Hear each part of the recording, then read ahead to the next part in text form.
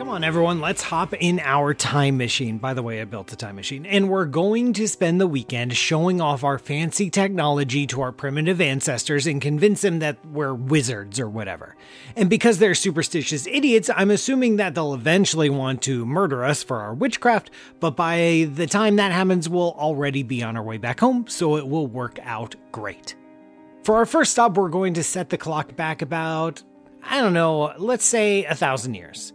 And let's put ourselves, I know, I know, along a caravan route on the Silk Road. And let's not go to a major city like Constantinople or Beijing. Let's go somewhere in the middle of Nowheresville, like modern day Uzbekistan. So here we go. Now we're here in the middle of Central Asia around the year 1000. And yes, it happened that quickly. If you think traveling through time involves flashing lights and complicated machines, then you've been watching too many movies. And to show off our technological prowess, we brought along our smartphones. And we're going to show them to these wandering traders uh, to impress them. But we're a little bit limited, aren't we? We, we can't call anyone. Uh, we can't text anyone. We can't go on Snapchat. We can't access the internet and its vast store of useless and occasionally useful information. Okay, okay, okay, that's fine. What can we show off? I know, maybe we could take some selfies. Uh, maybe let them play Mario Kart or something. We can pop out a little virtual keyboard and, and type down what they're saying. And you know what? They may not be all that impressed. You know, writing things down, well, they got that already. Taking pictures, they, they got that too. It just takes a little slower. Maybe Mario Kart will really wow them, but that's assuming they even understand that. We need something else. We need something that will really impress a random trader in the middle of Central Asia something they can connect to, something they understand and understand just how powerful we are now. I got it. We don't have GPS, but we can tell them that this little device can do astronomy. That this little rectangle that fits in a pocket has the magical ability to tell the time, to tell the date, to make a map of the stars above your head, to tell you the current phase of the moon, and to tell you exactly where you are on the surface of the earth. How is that for a killer feature? Something, you know, anyone can understand in history of just how cool and powerful that is.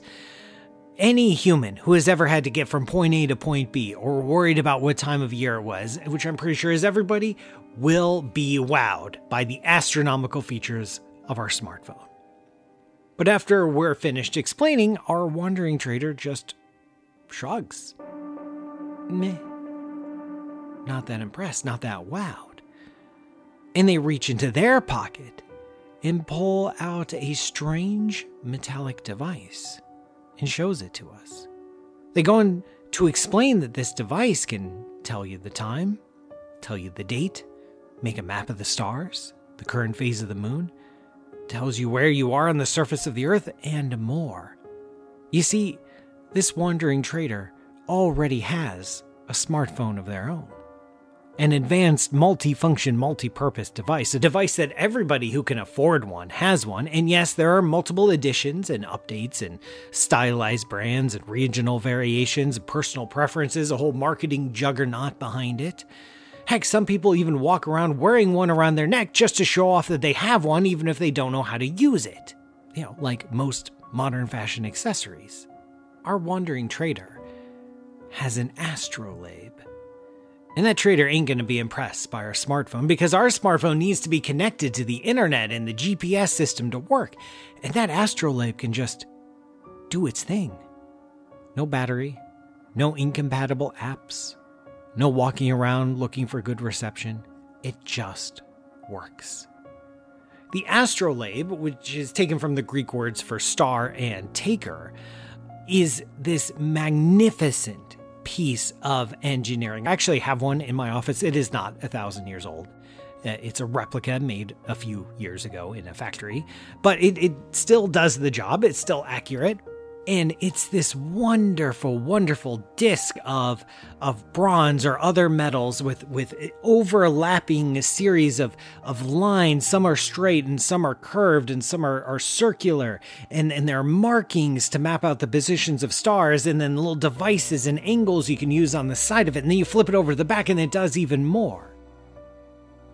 An astrolabe is this wonderful device an analog computer that can tell you what time of day it is, that can tell you the phase of the moon, that can position, help you identify stars on the sky, and then once you've oriented yourself, it can tell you where you are on the earth, can tell you when sunset and sunrise are going to be.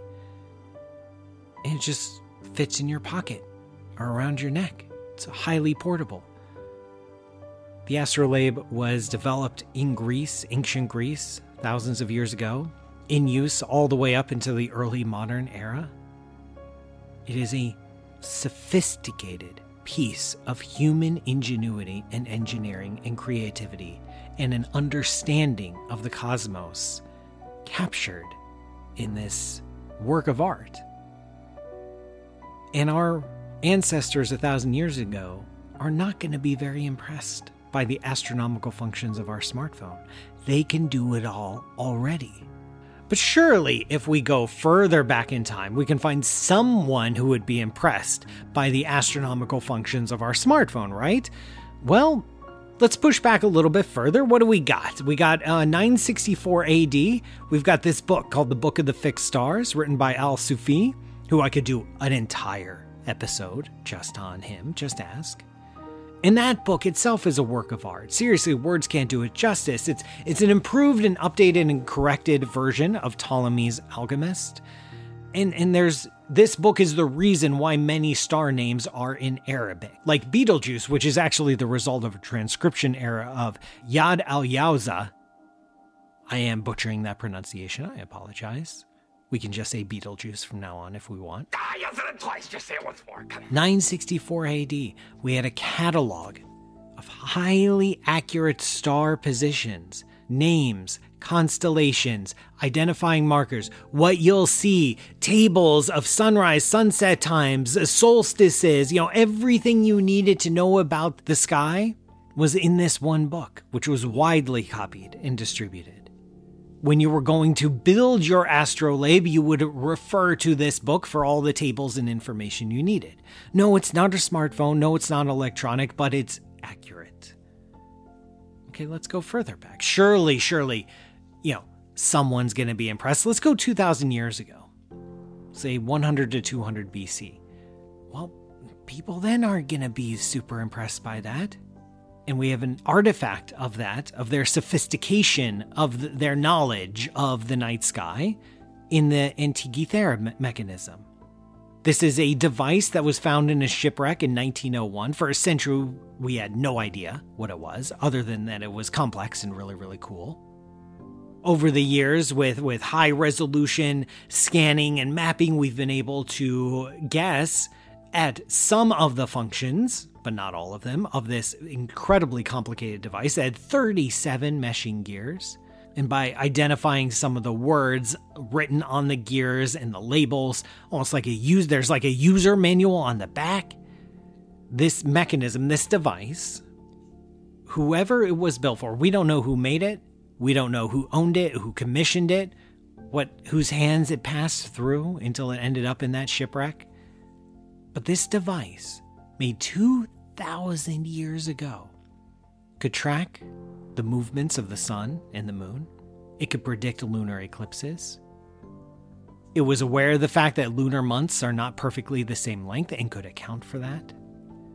Could account and measure and map and predict the motion of all the visible planets. Upcoming moon phases years in advance. Told you when certain Olympic style games were to be held every few years, could predict it all. You could look at this device and see the future. You would know, you know, five years from now, what the position of the sun, the moon, and the planets would be, when sunrise and sunset would be on that day, years from now. No, people 2,000 years ago were not going to be impressed by our smartphone, at least the astronomical functions. Mario Kart, i I'll, I'll give them that. But the astronomical functions of our smartphone, they could already do that. European cultures and tradition are not alone in this. They're incredibly precise Hindu and Chinese calendars stretching back millennia. The first accurate calendars appear in those cultures around 500 BC, 2,500 years ago, and people are writing down accurate calendars saying, yep, this is what the moon phase is going to be. This is when sunrise is, you know, all the things we take for granted. 2,500 years old. Some of our best records of supernovae and comets come from Chinese sources who really, really cared about that kind of stuff. Polynesian sailors are able to spread throughout the Pacific Ocean out of sight of land using star compasses. Could do an entire episode just on that. We start to see the beginning of the rise of star catalogs around the 4th century BC. We see here with the Shishen catalog, this Chinese catalog developed 2,500 years ago, the application of mathematics to explain and predict the motions of heavenly bodies. Where it's not just recording, oh, yeah, yeah, yeah, uh, you know, Saturn was visible today, moving on, but telling you where Saturn is going to be, what constellation it will be in years from now, what star it will be near years from now. Where we're seeing ancient people not just record what's happening in the night sky, but begin to predict what will happen in the night sky. When will the next eclipse be? The next solstice, the next equinox? How long until the next equinox? They could tell you.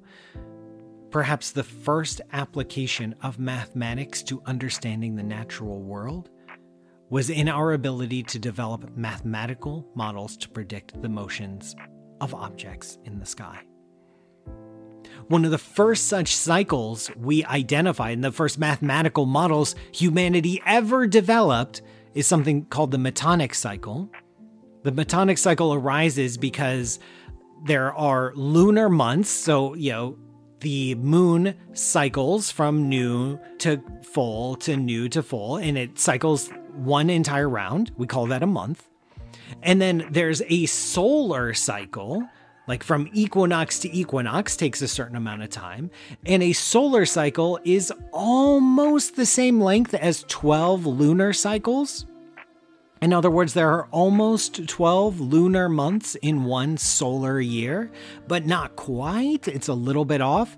And so, this gap, this discrepancy, is one of the first things our ancestors noticed. And it's also one of the first things that our ancestors were able to develop a mathematical for to explain and to predict. It turns out every roughly every 19 years, things line up again.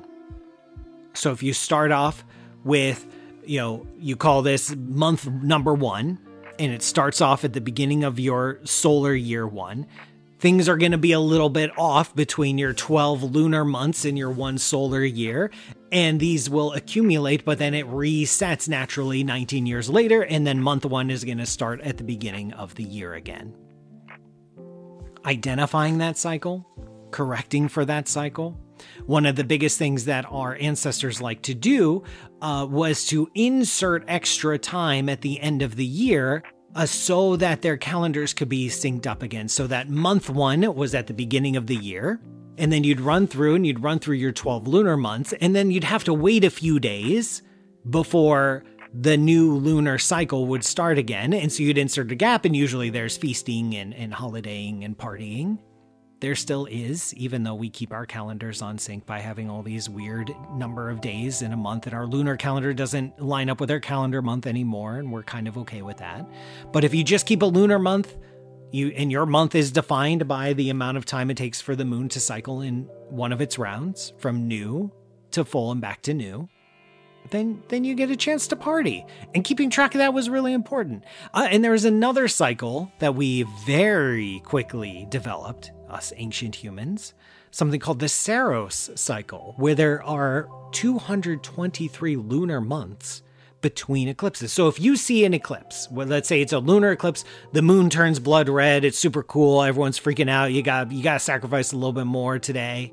You know if you're an ancient astronomer, thousands of years ago, you know this. You know that 223 lunar months from now, you're likely to see another eclipse. If you see a solar eclipse and the moon blocks the sun and it's super scary and also kind of fun, you know 223 lunar months from that date, you're likely to see another eclipse. Now, maybe partial, maybe full. You don't have that precision. That would have to wait for our understanding of the gravitational force to make those kinds of predictions. But you know you had a really, really good chance. 223 months, that's 6,600 days later, you're going to see another eclipse. And mechanisms like the Antikythera mechanism could predict that. It would tell you where you are in a metonic cycle. It would tell you where you are in a Saros cycle. Oh, it's been uh, 120 months since the last eclipse. Uh, well, then you've got um, 103 months to go until your next eclipse. It would tell you that.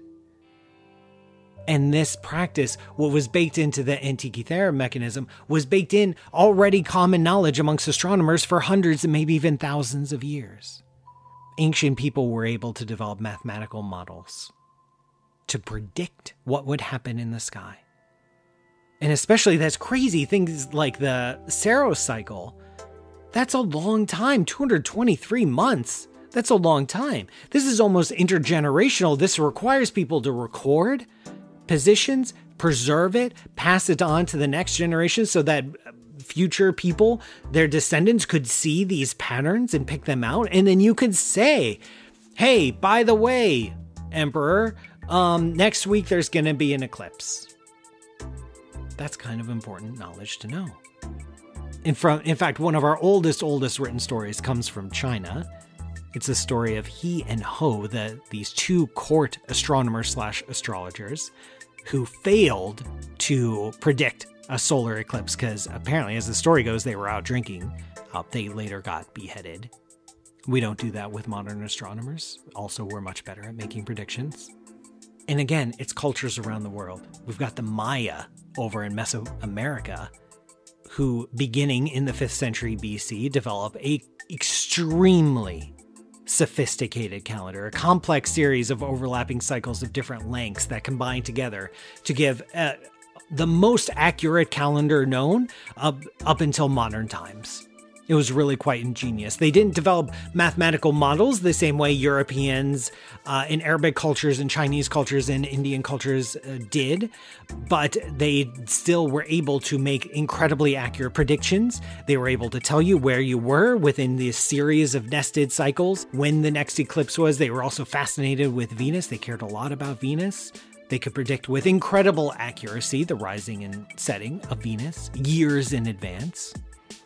Cultures around the world are paying attention to the night sky, they're writing things down, and they're finding patterns and they're developing predictions, mathematical models, the beginnings of modern science. Modern science is a mathematical description of nature. It finds its beginnings here in ancient astronomy. It goes back further. There's this uh, artifact called the Berlin Gold Hat. It's a tall, cone shaped hat made of gold leaf, probably worn over a more functional hat, probably worn for ceremonial or religious purposes or both.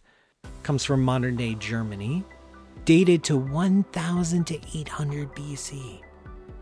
And the thing itself is a work of art. One of my favorite things about ancient astronomy is how how rich the symbolism was and how much this was integrated into religious activities, political activities, daily activities, and how much thought and care and attention we humans put into creating not just works of functional engineering, but works of art. The Berlin Gold Hat, it's very tall. It's made of rows and rows of symbols and shapes that at first glance look totally decorative until you realize that there's a pattern. In fact, it's a calendar made of gold foil on this hat. And in fact, it's two calendars, one based on the moon, one based on the sun. There's a lunar calendar that's keeping track of, of lunar months, and then there's a solar calendar which keeps track of the position of the sun in its annual cycle. And then there's the appropriate machinery built into the hat itself that allows you to translate between the two systems. The reason it's tall is because it captures an entire 19 year metonic cycle so you know when feast days are. You know the offset between your 12 lunar months and your one calendar year. You know what that gap is. The Berlin Gold Hat would tell you, would calculate this was the smartphone for the, this culture 3,000 years ago. It could tell you when, which month you were in, what part of the solar year you were in, when your 12 lunar months would end, And when you'd need to insert a gap to sync everything back up with your solar calendar, they could do it.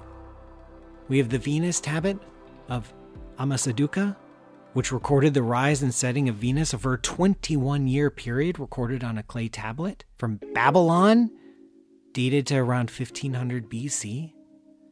We can even go back before the time of writing, before recorded history, and you're still going to find people who are not all that impressed by your smartphone, by its astronomical functions.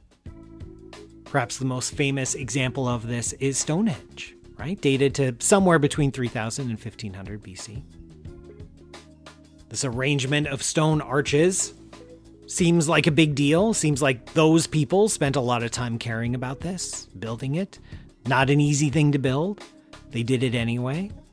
There's a special keystone that if you stand at the keystone and look at the arches during the summer solstice, the sun rises in a very particular spot to illuminate the keystone.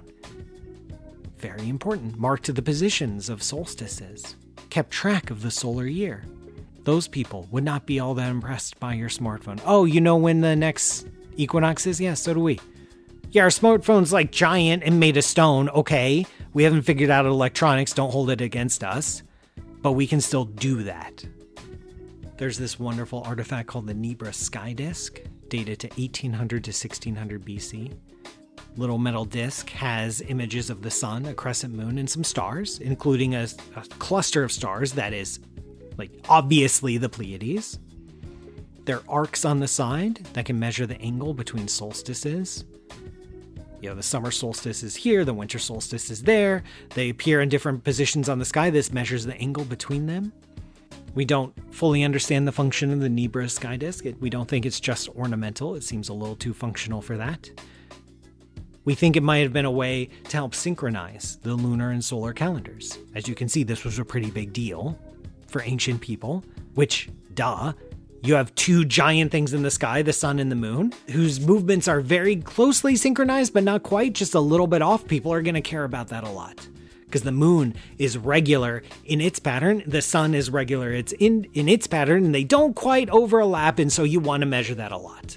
Seems pretty important. There's this artifact called the Göbekli Circle, 4900 BC.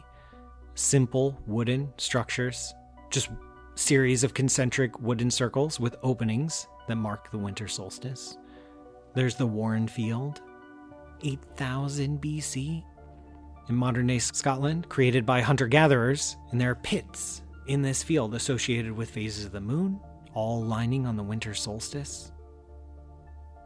Obviously, the farther back in time we go, the less sophisticated these devices become, the larger they become you know, prior to the advent of writing, we don't have mathematical models of predicting positions of heavenly objects, but we're still marking it, we're still knowing it, we're still noticing the patterns, we're still building giant monuments to signify it. Perhaps the oldest astronomical record ever. And this is disputed. That's another thing. The further back we go in time, the harder it is to to figure out exactly what the purpose of these objects was. But there's this um, ivory mammoth tusk dated to 30,000 BC. On one side, there's a carving of a person. And this person has I'm not joking here. It's like funny. It's it's like the exact same pose as Orion. By the way, many, many cultures around the world identify the constellation Orion as a person because it, it pretty much looks like a person with like arms out here and then one leg's a little shorter and then you've got a like you know a sword or a dagger or something else you know hanging between and the carving is like exactly that it's hard to see that and not immediately think of orion on the back is an ad for patreon patreon.com slash pmsutter very sophisticated people wanting to keep this show going it's patreon.com slash pmsutter. I truly appreciate any of your contributions. Now on the back are 86 notches. 86 notches, 86 notches. Now, this caution, I'm going to caution what I'm about to say. This may be a little bit of numerology where we just see 86 and we're trying to work out what could 86 possibly be, and we might be creating meaning where there is none. you know, caveat aside, it just so happens that a typical human pregnancy is equal to one year minus 86 notches. One year minus 86 days is the length of uh, human pregnancy. It's also, by sheer cosmic coincidence, the number of days that Betelgeuse, the major, the shoulder of Orion, is visible in the sky at that latitude where the ivory tusk was found. Perhaps these people found a connection between the rising and setting of Orion with with something about pregnancy. I don't know if they kept track of lunar months and solar years and the discrepancies between them. I'm fairly certain that they did not develop sophisticated mathematical models to predict it, but they noticed something important and they were trying to tie that to something relevant in their daily lives. No matter how far back you go, you're going to find people who aren't all that impressed with your smartphone. The farther back you go, the larger and less sophisticated our astronomical devices become, the less sophisticated our astronomical knowledge becomes. You know, from just simple markings to megalithic structures to handheld astrolabes.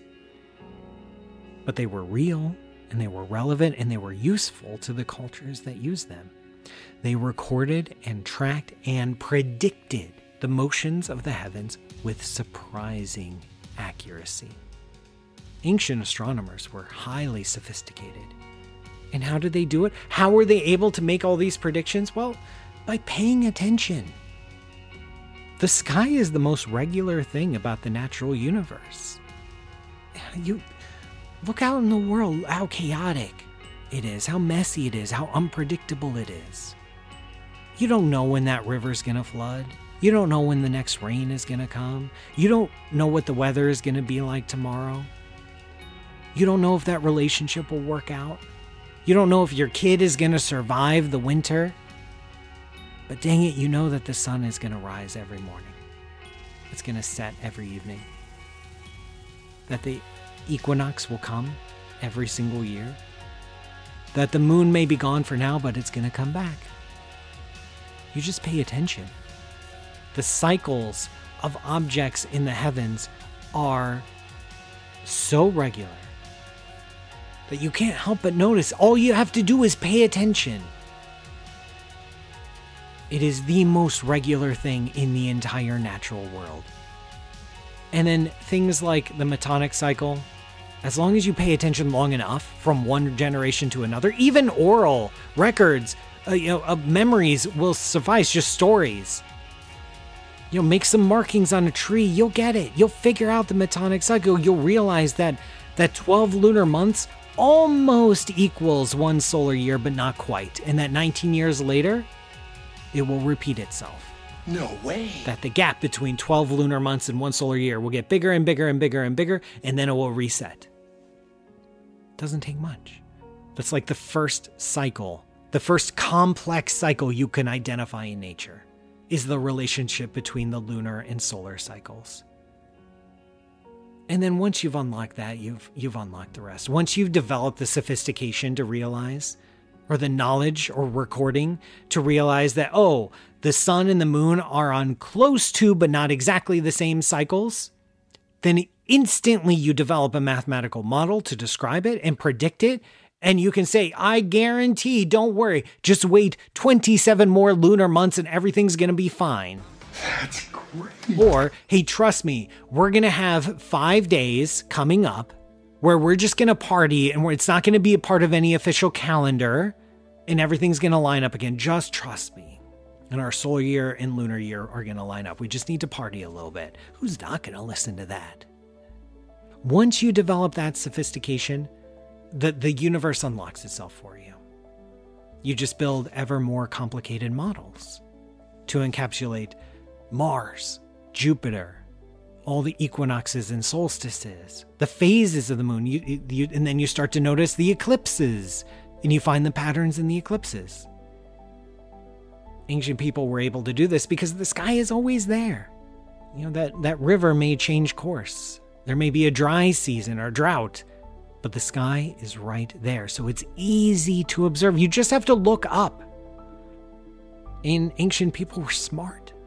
They were just as smart and witty and intelligent and clever as we are. They were just working with less. They had to get it started. You know, now we take calendars for granted, but it took us thousands of years to figure out these kinds of accurate calendars. It started with giant monuments to mark the solstices, and it went from there. It started with careful record keeping to note the Metonic and the Saros cycles, and it goes from there. They would pass their knowledge on, spread their knowledge to other cultures who would assimilate it, bring it into their own, add to it, modify it, pass it on. There's a reason modern English star names are mostly Arabic, while the constellations are Greek. Because it's not just one line of thinking that brought us to our current understanding. Why'd they do it? Why would you care? Man, the world's a messy place, isn't it? It's it's hard to live in the world, especially without Mario Kart. It's tough. The sky is different. It's regular, it's orderly. Once you reach a certain level of understanding, even eclipses aren't scary anymore. We got it. We got it. We know what's happening. It'll happen again. Let's just mark it down. Make sure our descendants know that this one happened as we predicted prehistoric cultures. Why were they building these giant monuments? Well, I can't I can't tell you. They didn't write down their thoughts for us. But I can tell you why would you want to mark the solstice? Why would you want to know when solstices and equinoxes happen? I mean, have you ever just been caught up in like the middle of winter and all the days just kind of blend together? They're all kind of the same. It's all kind of cold. Can't really tell. You know, yeah, the days are maybe getting a little longer, but it's hard to tell day to day. You're just stuck.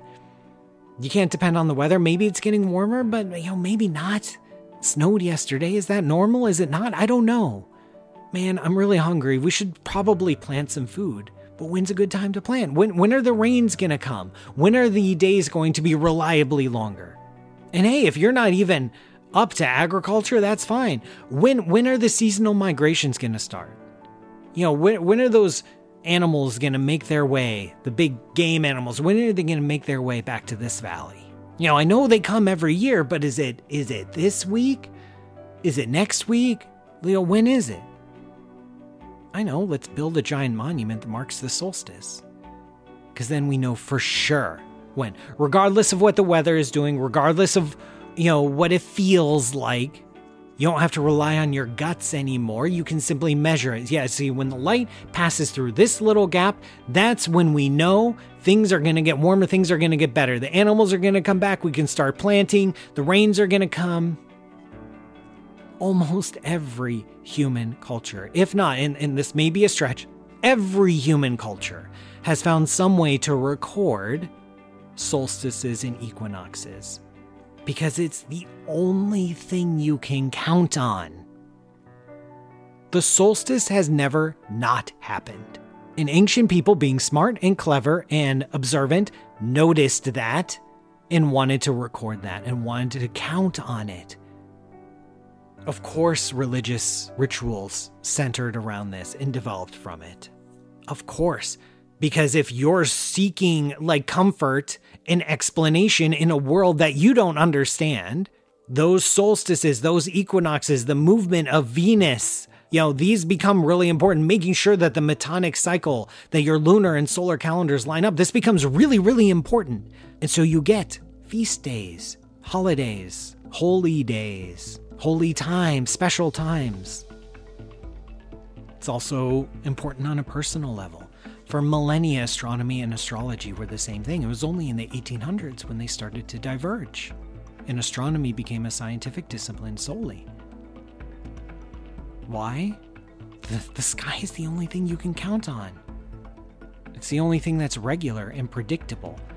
It's the only thing in the universe that you can say, I, you can write a book on and say, I guarantee generations from now, this is what's going to happen. You can't say that about anything else. So, of course, you want to draw information from that. Uh, like, that seems different. That seems important. That seems useful. Maybe it can tell me about my personal life. Maybe the arrangement of stars and planets right now can inform my daily life. It's worth a shot. I don't blame any ancient culture for developing astrology. Heck, you know what? I don't blame any modern people for turning to astrology. It's a messy, confusing, painful world out there. And sometimes you you you want to search for meaning. I'm never going to fault someone for searching for meaning. It was important for storytelling. You look at the stars. Oh, oh, can you tell us the story about Orion, the hunter? Well, nope. That's a winter story. I've got I've got another one. I've got a summer story for you. The night sky brought comfort and safety and regularity and dependability in an unpredictable, chaotic, dangerous world. We have this ancient, prehistoric tradition of astronomy for a reason. And when you pull out your smartphone and you pull up the map of the sky, or you even just glance at the time, you are resting on thousands of years of accumulated human knowledge about the cosmos. This is why astronomy still resonates today. The sky still hangs above us. The same moon, the same stars, the same sun that our ancestors knew, still wheel about night after night and season after season. It's still here, it's still relevant, it's still important. So go out tonight if you can. Look at the stars as we humans always have with curiosity, with wonder, with patience, with eagerness. Bring your questions to the stars. Sometimes you might actually get an answer. And what patterns do you find? What comfort do you find in that nightly embrace?